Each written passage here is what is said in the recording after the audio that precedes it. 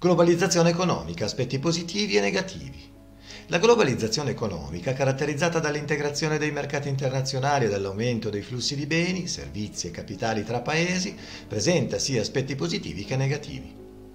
Tra gli aspetti positivi, la globalizzazione ha favorito una crescita economica significativa in molti paesi, particolarmente in quelli in via di sviluppo.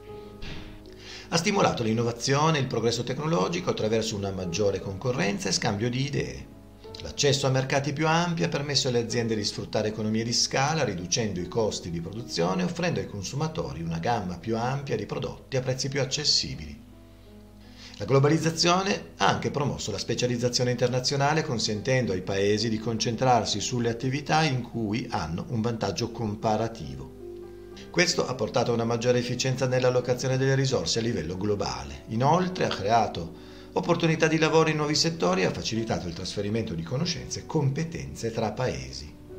Tuttavia la globalizzazione economica presenta anche aspetti negativi significativi. Uno dei più critici è l'aumento della disuguaglianza, sia tra paesi che all'interno di essi.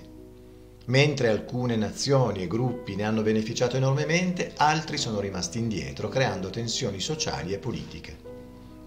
La competizione globale ha portato in alcuni casi a una corsa al ribasso in termini di standard lavorativi e ambientali, con aziende che cercano di ridurre i costi spostando la produzione in paesi con regolamentazioni meno stringenti. Questo ha sollevato preoccupazioni riguardo allo sfruttamento del lavoro e al degrado ambientale. La globalizzazione ha anche reso le economie nazionali più vulnerabili agli shock esterni, come dimostrato durante le crisi finanziarie globali. La rapida diffusione di crisi economiche da un paese all'altro ha evidenziato i rischi dell'interdipendenza economica.